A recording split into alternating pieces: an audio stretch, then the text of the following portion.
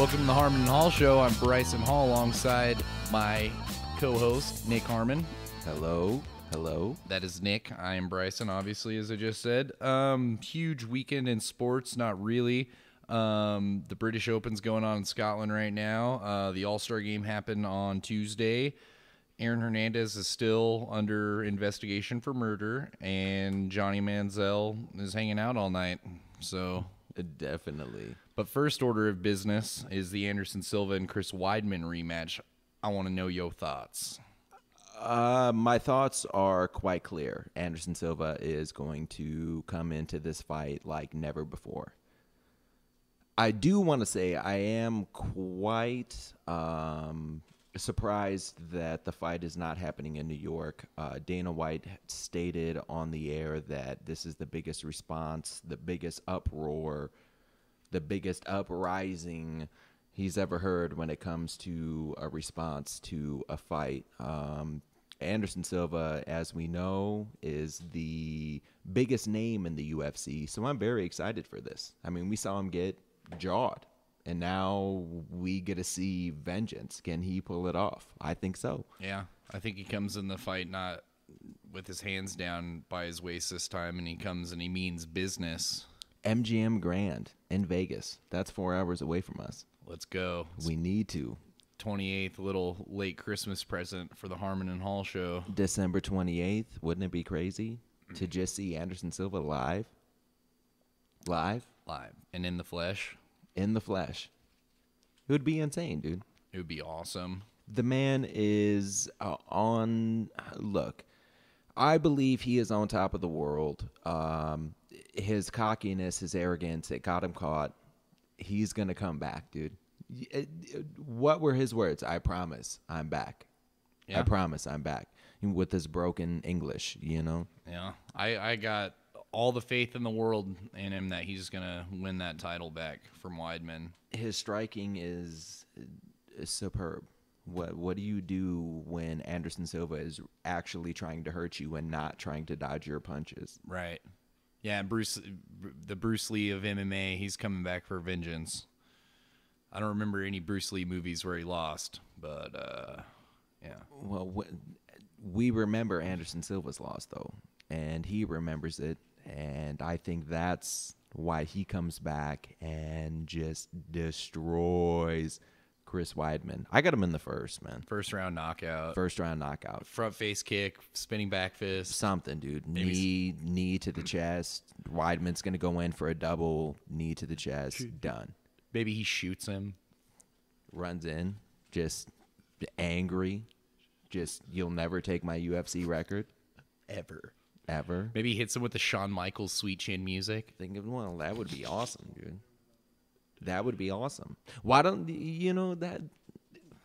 Look, let's mix it up real quick and just put him like on the top of the cage and just Macho Man elbow, Elbow drop. Ooh yeah, brother. Something, dude.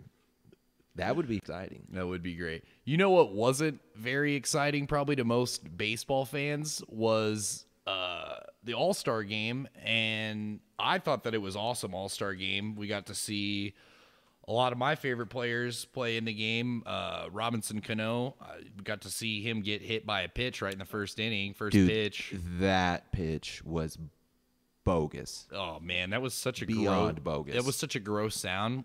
Even in live, I cringed. Yeah, that was reminiscent of Kirk Hinrich's head bouncing off the floor when LeBron ran him over. Yeah, it was.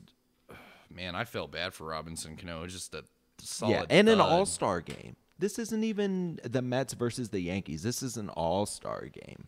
There like, was- what are you thinking? Right. You could tell there was a lot of Yankee fans in the crowd because the overwhelming booze right Oh. after Cano got hit. It was. It drowned out that stadium. Well, I don't think you had to be an American League fan to boo at that. You know, that was just uh, wrong. Uh, It's the game is nothing. Like I understand it represents who's got home series advantage in the World Series, but really, you're gonna hit Robinson Cano? Like what? What's what's the point of hitting a batter? Like I hope the guy got beat up in the locker room after the game. You know, that'd be great.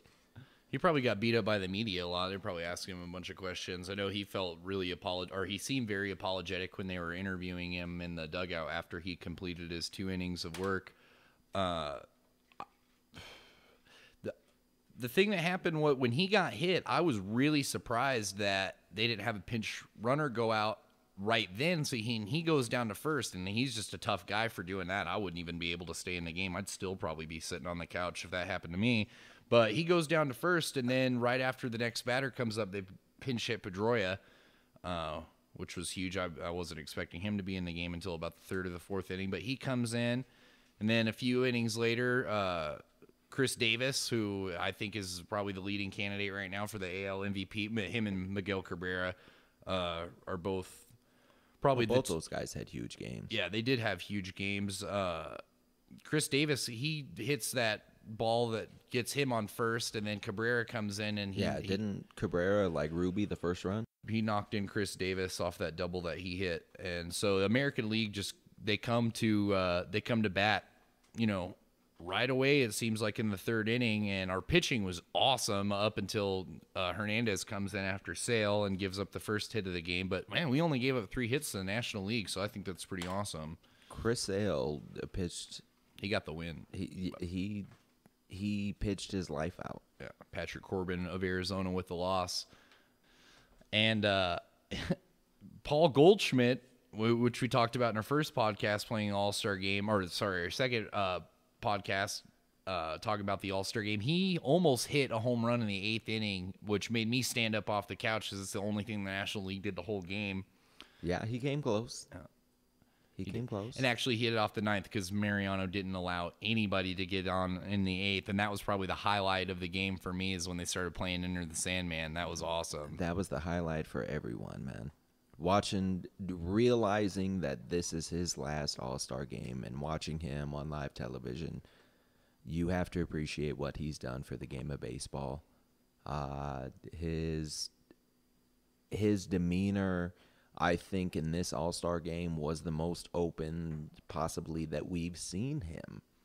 Um, hell, I say let's open up and let's let's talk to him more. Let's get him a gig on MLB TV. You know, what a big boost to the uh, you know South American fans. I mean, to get him on on broadcast television and have him commentary some games. I mean, I think it would be he's opening up, man. I mean, for the first time in his career, I think he's pleased to be where he's at, man. Yeah, he seemed he seemed really happy to talk to all those guys before the game. Um, you know, telling them how much it'd mean to him for him to get an opportunity to come into the game, and obviously, you know, for the fans and everybody that was in the stadium, you know, or watching on TV, that was a moment I'll never forget. It's the last time you'll ever see the number forty-two in a All Star game ever again. Very true. And I thought of I, I thought of that, you know, halfway through his inning. I thought it was great that they dropped the movie on that that Tuesday too, the same day as the All Star game.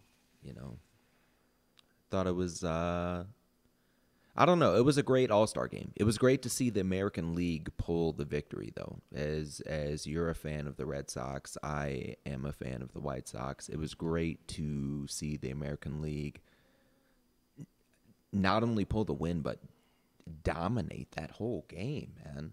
I mean, the National League are look, the batters in the American League, I'm telling you, are much bigger, stronger.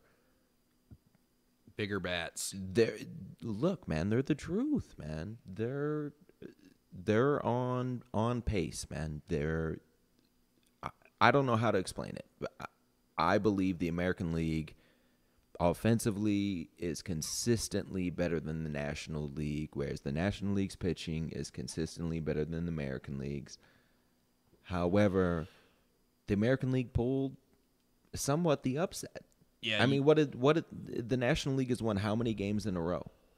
they won like three All Star games in a row, which gave them, you know, locked them up for the home field advantage. And the National Leagues took the past three World Series, so hopefully this helps the American League, whoever is going to represent the American League in the World Series, to hopefully get the American League to hoist the trophy at the end of the season. Well, you see who was coaching for them, and Detroit is looking to make a big stand, I think, this year. I think they very well could be the favorites for the American League to Detroit? go to the World Series. Yeah, Yeah. the Detroit Tigers. Jim My Leyland God. managing. My God. Prince Fielder, Miguel, again. Maybe if Verlander can get his pitching under control by the All Star game, his, his velocity's been off this year a lot. Well, what about Scherzer? Oh, Scherzer's playing great, man. Thirteen and one going in the All Star break. That's those are great numbers. Nobody's done that since '75. Moving on to other sports news, moving from baseball to the NFL, the huge, the biggest offseason story, Aaron Hernandez. Uh, we didn't get to talk about it last week. Everybody's been covering a lot, so I guess we'll get back to uh, our Aaron Hernandez coverage. This guy looks like he's just He's done. SOL. He's going to jail. Um, Forever. what is it? The the two accomplices, they're all bickering back and forth. Um, apparently, he confessed to one of them that he admitted to to murdering Odin Lloyd. However, the guy was sitting in the vehicle. Apparently, all four of them were, or all five of them, were in a vehicle. Or four of them, I'm sorry. All four of them were in a vehicle. Three of them get out of the vehicle. They go to relieve themselves. The guy hears gunshots. They all get back in the vehicle. They speed away. Why does Aaron Hernandez need to say, Yeah, I killed him? Does that make sense? No, it doesn't make any sense at all. He admitted to the other guy that he killed him. What do you mean he admitted? The other guy was right next to him. The story does not make sense. They're all going to jail, man. Every one of them. They're going to jail. They all snitched on each other. Of, well, what do you think is going to happen, man? I mean, you know, where's Johnnie Cochran when Aaron Hernandez needs him? Where's Johnny Football at Manning's passing camp this past weekend? That's a huge story. Look, that's the big news. Yeah, I hear it. You know, Johnny Manziel, he, I don't believe, needs to go to a Manning camp just yet. Yeah. I mean, kid, you know, he's played one year of college football. Did Just yet. Did win the Heisman. Exactly. He needs to be himself. And a lot of what people don't understand is the kid comes from money. I mean, he is not your average college football player. He's his his family has significant funds. I mean, uh, what? The kid drives around in a Mercedes Benz? Yeah. I mean, He's got the put- Manning football camp. Look, if you come in and you're a freshman and you win the Heisman Trophy of the year, be you. Be you. What do you? Yeah. What do the Mannings have anything to do with his his football career right now? Yeah, be late to camp. It doesn't it doesn't matter. Well, I I can understand in the sense that he shouldn't set up negotiations like that. I mean, if he's committing to go to a camp and with him being the Heisman, I mean that's a credential to your name that 99.9% of the population does not have. So you you need to be accountable. You need to be a role model at that point. You know what I mean? Yeah, a lot of kids are disappointed they didn't get to meet Johnny Football. Well, I'm sure they were, and I'm sure the Mannings were a bit let down. You know, I'm sure they were excited to to have this kid come in and work with him, maybe you know, for a day or two, or for however long he would have been there. I don't know, but you can't hold it against the kid. He's still young.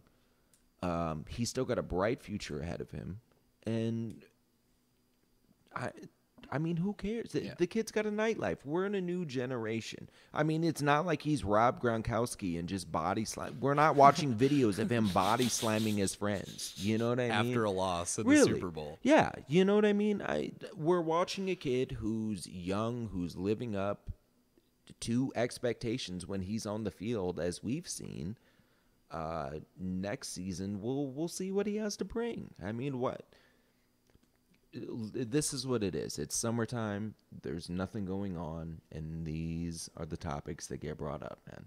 Yeah, and I mean, you know, Johnny Football feeling all this pressure, you know, from the media and everything. It ain't gonna be nothing compared to the pressure he feels when Nick Saban tunes up that defense this fall, and they have to play them. Now, A and M did give Alabama their, you know, probably closest run in the uh, the regular season this past year, but I think Johnny Football is a gamer. None of this other stuff matters off the field. This kid's gonna strap on his chin strap this year, and he's gonna go out for the Aggies, and he's gonna try to compete for a national championship. And I know that at the end of the day, doesn't matter what appearances he makes or what kind of trouble he got into. This kid is the real deal, folks. The real deal. I believe that. I believe he'll come out. I believe he'll throw the ball accurately. I believe. Uh, Alab- Look, you bring up Alabama, though, and Nick Saban.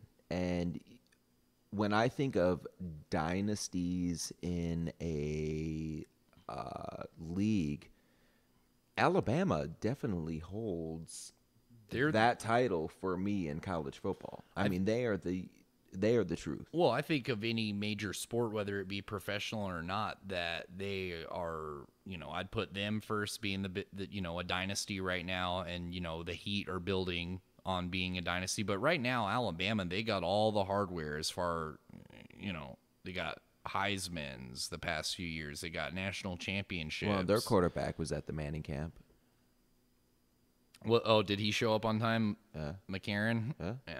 Well, well, you know, that Nick Saban. Some a lot of the reason why those kids from Alabama go in the first round all the time is because they have these kids pro ready, and that doesn't that doesn't just mean, you know, practices or meetings and stuff like that. That means your off field duties that you have to do, uh, press obligations, and so yeah. I mean, I, I do see what you mean there. That's why Alabama is ready to play on the field or off field. You don't hear about a lot of their kids doing stuff like that.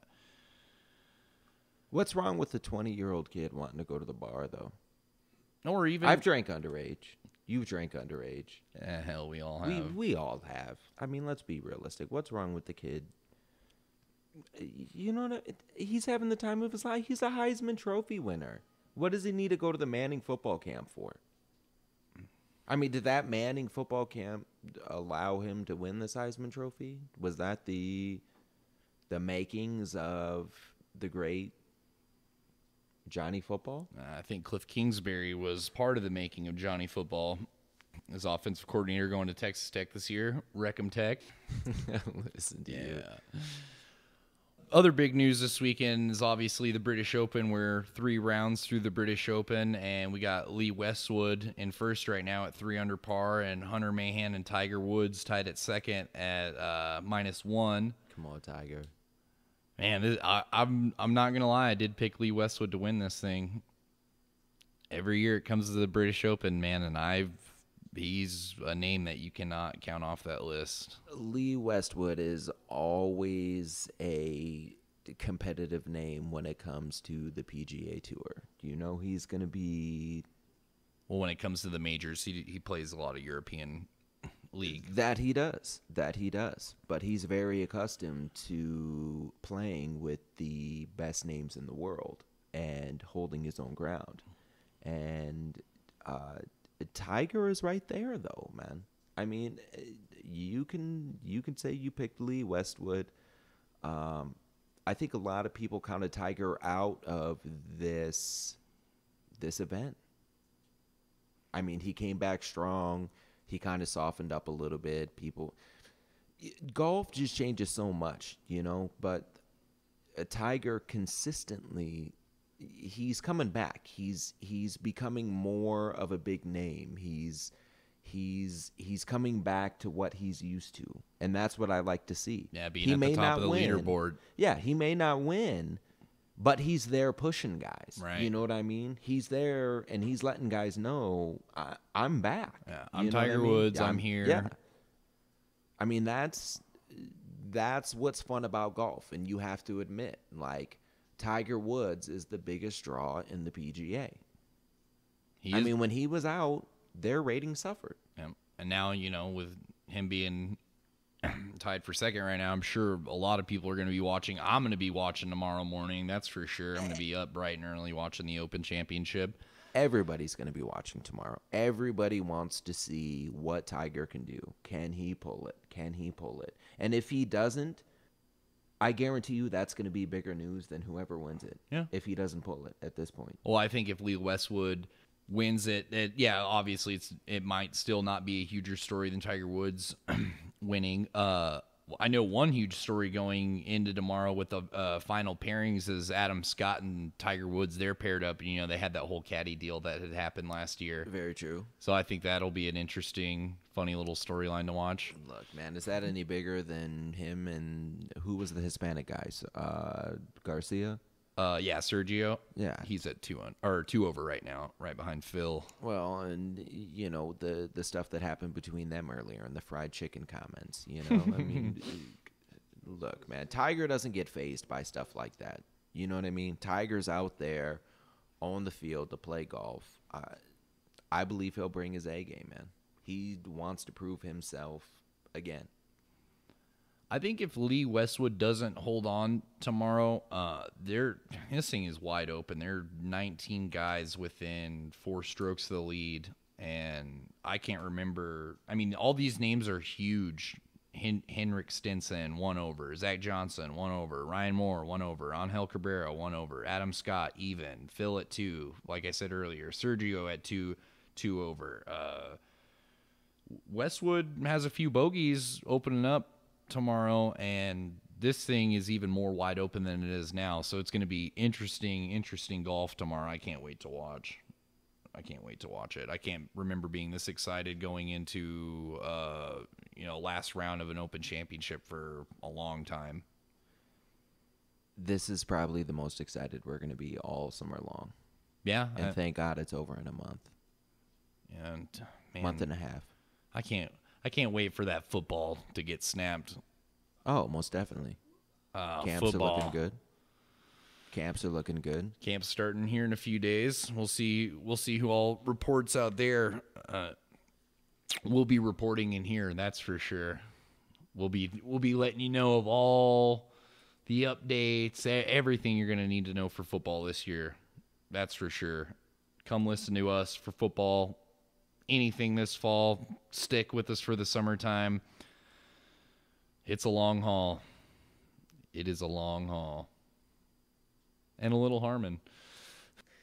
All right, uh, and you know, summer, like I said, really slow. We're getting back into the swing of baseball, uh, ending up the season right before the playoffs start, and all the pennant races are just heating up right now. So we'll be here through training camp, preseason, start of college football. Check us out every week on YouTube, Harmon and Hall Show. You can check us out on Facebook too, uh, facebook.com slash Harmon and Hall Show. Add Yeah, what us. about the races? Oh, there. Oh, there's no races this weekend. It's just the nationwide's tomorrow from Chicago. So we know that the, uh, you know, Kyle Busch is probably going to win that race. Probably. But it's it's from- nationwide. It's from your home area, Chicagoland. Hey, Chicago Speedway. We got down. we got the Indianapolis, Hope nobody gets shot. Right? we got the Indianapolis uh, race next week with Jimmie Johnson still going in as the points leader. So Jimmie. We'll see what happens at the Brickyard. Uh, we got we had the uh, the open wheel guys out there for the 500 a few months ago, so we get the stock cars back in there, rubbing and racing. Uh, I love it, love it, love it, love it.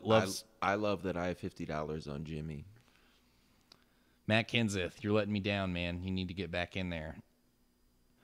That's uh that's about all that's happening this week in sports. We'll be here to cover anything else that happens from now in between our next podcast. But folks, we got football, like I said, coming up. We got this baseball pennant race, and we got the Open Championship tomorrow. So I will be glued to the television. That's all for this week. I'm Bryson Hall, I'm Nick Harmon. and we're out. Peace.